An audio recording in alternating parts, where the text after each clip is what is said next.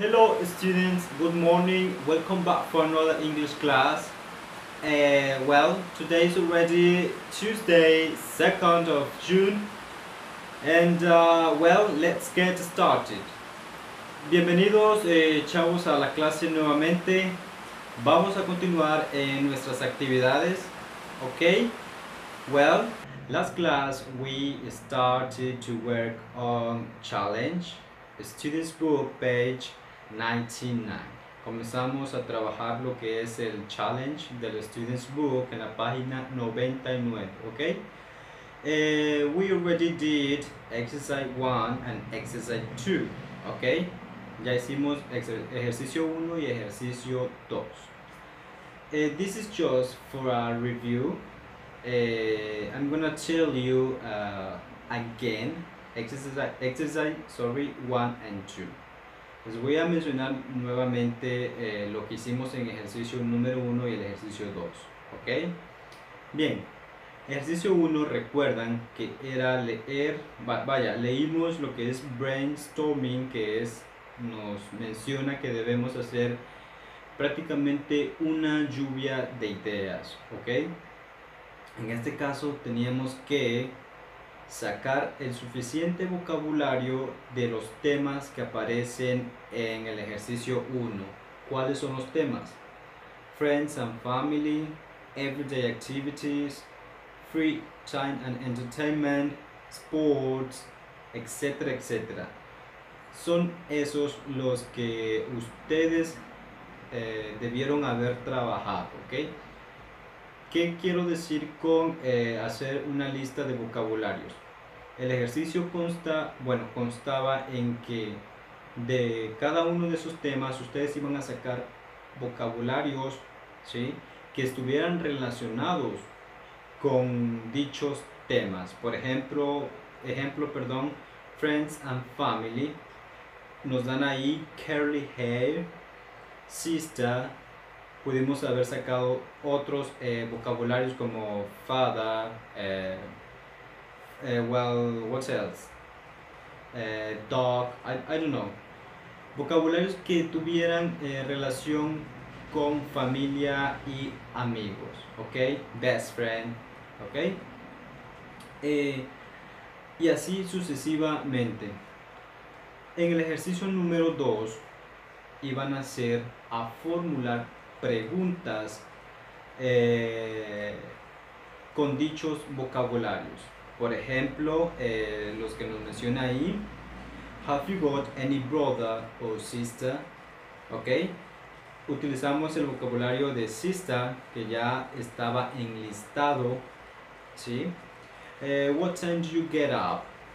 Get up, que es el vocabulario que, que está en la parte de everyday activities. ¿Ok?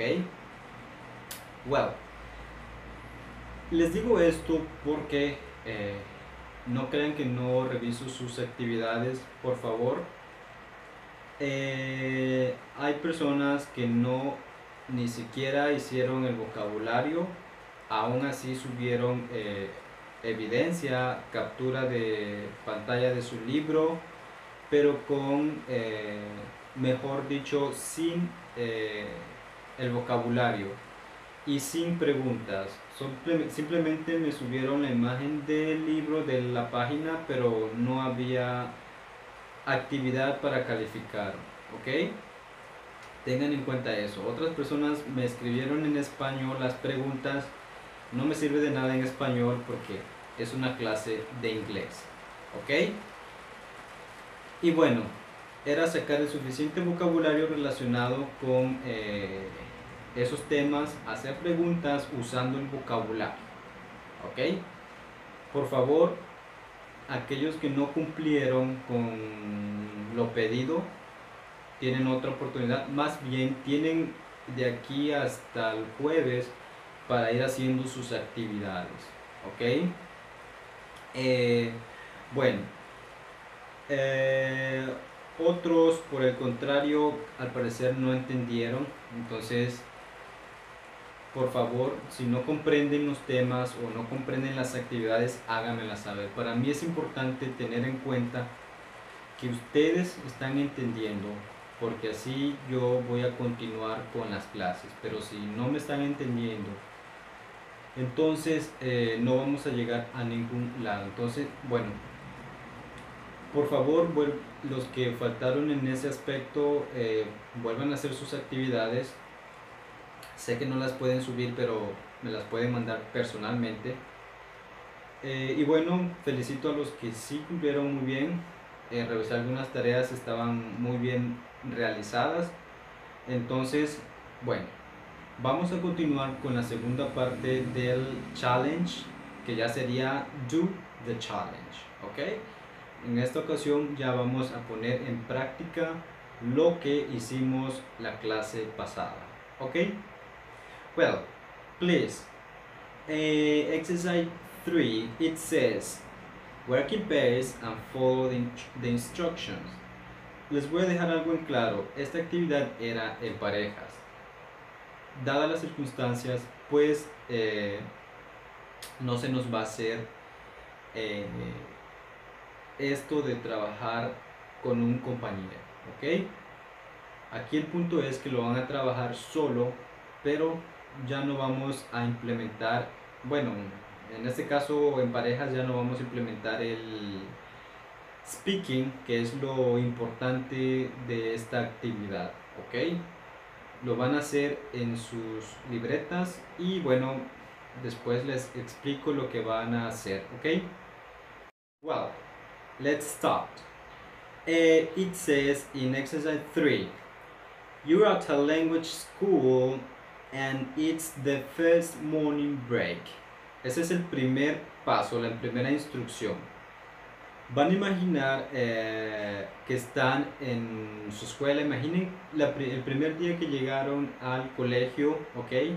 Imaginen ese primer día de receso o de tiempo libre en su salón de clases ¿sí? Es muy importante. Well, let's continue.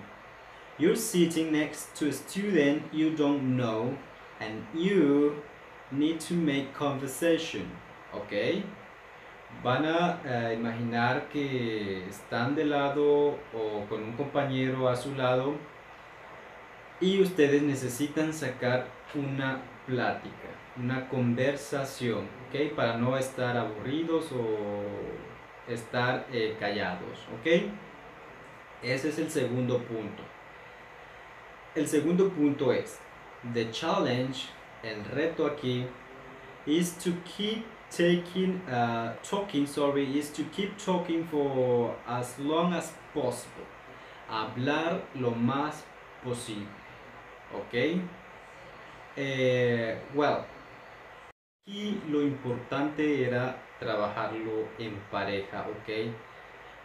Pero vamos a hacer lo siguiente. Eh, como pueden ver en el ejemplo, it says student A and student B, ¿ok? Ustedes, ¿qué van a hacer?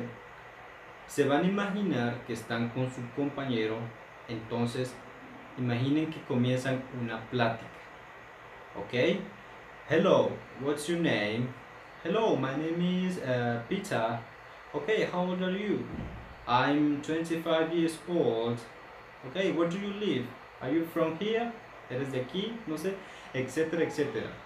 Entonces, el punto aquí es que esa conversación que ustedes van a imaginar la van a escribir, ¿ok? Por lo menos serían 10 preguntas en total. 10 imaginando, bueno, que estás con un compañero, 10 5 tuyas y 5 preguntas de la otra persona. ¿Ok? Obviamente, como comencé una conversación, ¿cómo comienzas tú eh, la conversación? Hello, what's your name? Uh, how old are you? Where are you from? Where do you live? Etcétera, ¿ok? Eh, obviamente las preguntas tienen que tener coherencia y relación. No quiero que me estén preguntando una cosa acá y que estén respondiendo otra cosa acá.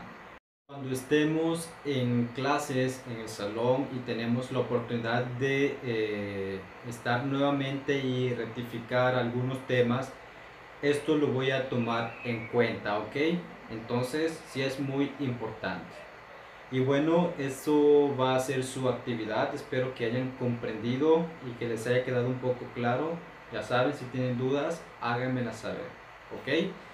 Eh, well, See you next class. Uh, have a nice day, students.